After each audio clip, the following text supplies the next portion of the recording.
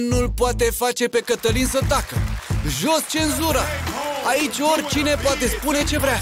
Consecințele vedem. Doamnelor și domnilor, un rând puternic de aplauze pentru Dorin Zidaru! Ați mai fost la umor! Alo, Ați mai fost, bună seara! Alo, să rămână! O, vă uităm așa ușor. Alo, mamă, Da. care mai n-am fost de ceva vreme. Da, care chiar. mai v-a schimbat, te-a crescut părul la Stâlpul la, chelu. stâlpul la civilizației! Alo.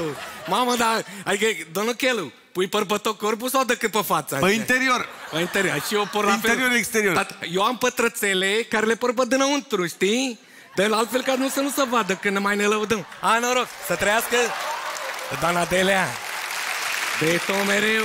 Deci, sunteți cea mai da în gură care e pe sufletul meu, știți asta. Sunt super bravo. De vă iubesc și tot respectul aici la domnul care nu știu. Tot respectul. Și la domnul Bedeac. Tot, tot respectul, mulțumesc Sănătate, frumos. domnul Miai. E prima oară când îl văd pe Bobonete. Deci eu nu sunt, o, nu sunt uh, bobonetei, nu, eu sunt Dorin Zidaru. Așa, și Dorin vă dorește decât uh, sănătate și super Doamne ajută. Așa. Bun, acum, eu de ce am venit? Că m-a chemat ăștia aici ca să mai dau o mână, căci că e multe vedete care le-a căzut în cuiala, știi? Și ca să mai dau o mână să fie... Nu e cazul, de nu e niciun apropo. Nu mai te râde. Să se- Deci e pe bune care m-a chemat, înțelegi? Pentru retuș. Stai mă că acum văd, acum văd. Nu e bendea, mă. E tot chel, dar e mult mai slab, știi? Nu e bendea. Gata, scuze, scuze. Așa. De m-a chemat ăștia, înțelegi? Și am tras și eu cu urechea la ce glume mai să face aici, știi? Și uh, am venit ca să zică, bă, nene, nu este normal care cum vine să ne ia la mișto pe noi, că România e vai steaua lor, că nu e, nu sunt de acord. Nu e adevărat, tată. Cum adică stai de român? Că te mai dă, vine războiul peste noi, ne bate toți, că noi nu avem ce pune pe masă, nu e adevărat. Bine, noi n-am avut ce să punem, dar acum suntem cei mai tari pe în lume. Adică, de exemplu, pe Europa suntem de departe cei mai tari. Fii atent aici. Când a trebuit ca să intrăm în Schengen, înțelegi? Când am zis noi că vrem să fim în Schengen, Schengen cu ei, ce a făcut austriacul și olandezul? Ne-a umplut frigiderul. Mai vă zic una și cu asta v-am terminat pe mâncare. Ciolanul. Zi. Cine a inventat tată ciolanul pe lumea asta? Român a inventat ciolanul, e bătaie pe el. Tu n-ai văzut cum pleacă jumătate de României? Tă trei zile la coadă, cum le scoate pe teșghea acolo, să bate, să împinge, să leșină pe ciolanile alea, înțelege disperare mare. Ce vorbești? Dar eu așa am crezut că ei se înghesuie de foame. Nu dă foame, tată, la român nu e foame. Că mi-a zis, eu am o babă aici la mine, care e maratonistă pe ciolane de-astea, și mi-a zis că, că nu dă foame să leșine ei acolo, nu, nu dă foame, tată. Ei dacă se duce, stă trei zile la coadă, îndeasă niște cruci, pupă ciolanele alea și gata. Le ajunge un an de zile, știi?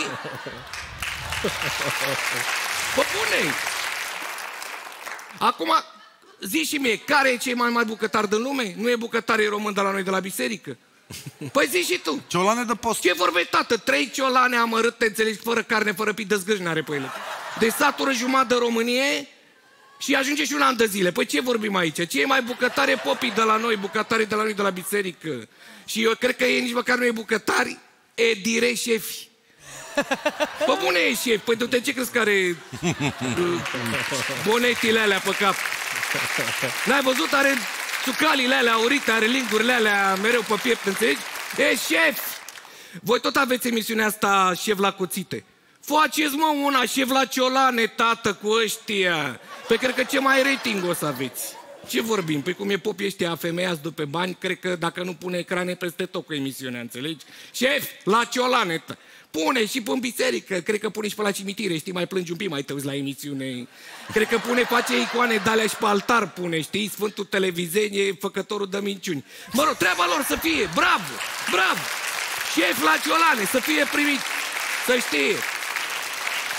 Formă, mai vă zic una și aici vă arunc cap. Pe ce suntem noi, cei mai pioa întâia? Deci aici cred că am dat și amarți la tot planiglobul pământesc cu mapamondul României, înțelegi? Pe sănătate. Deci pe sănătate avem cei mai doctori. Arată tu mi altă țară care are mai mulți doctori. Știi vreuna? Un te învârți, un te uiți, unul e doctor.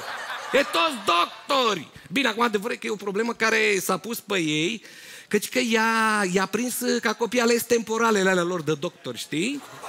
Și s-a pus un pic pe ei. Dar lasă-mă în pace că e doctor, nu trebuie ca să scrie, trebuie să te opereze. Știi ce zic? Nu? Cum zice românul? Bă, doctorul trebuie să-ți ia ca cu mâna, tată. Păi jos mâinile după doctor, lasă-i să te facă bine de tot. Așa, și mai zic una că mi-a venit acum. Aolou, era să uit. Că tu mă vezi așa pe mine, de eu sunt de la lucrare, nu e, dar eu am în cap. Cei mai tari care suntem, suntem pe cultură. Deci pe cultură nu mai să existe, e plin de scriitori, de exemplu. Scriitori e pline, pușcările pline de scriitori. De? Bine, nu mi-a plăcut mie că i s-a pus pe ei de a băga pe toți la pârnaie și și-a dat seama, a zis, bă, nene, nu poți ca să ții toată cultura în pușcărie, înțelegi? Și atunci a făcut o regulă.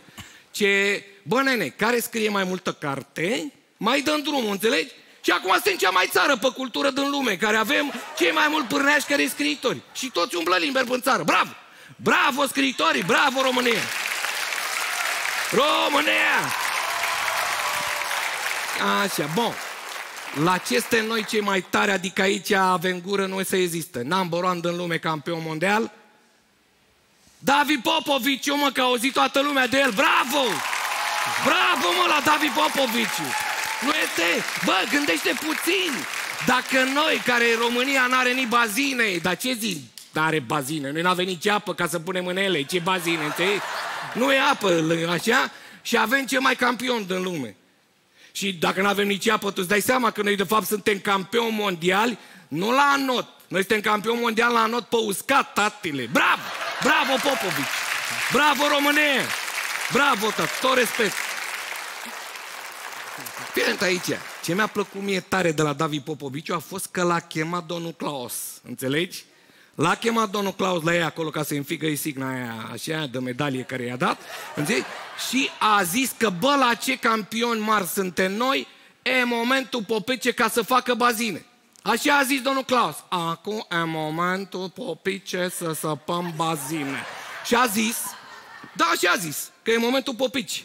Mă rog, acum, eu abar n-aveam, decât pe acum am aflat că, că popicile se joacă pap. Mă rog, treaba lor, lasă, fie, nu contează. Azi că sapă, face bazine la toate sporturile acum. să fie...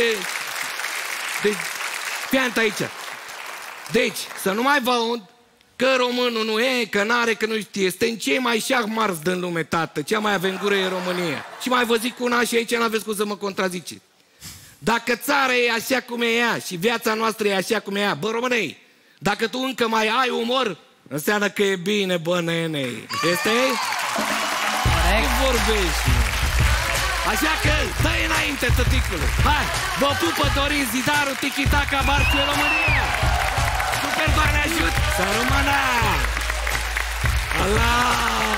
Am eu treabă, că e bine, hai, sănătate. Mie mi se pare că Vizante a renăscut și mediatic și artistic. El uh, impersonează uh, supereroul născut după Revoluție. El este omul care clădește de la subsol și ridică până la cere. Exact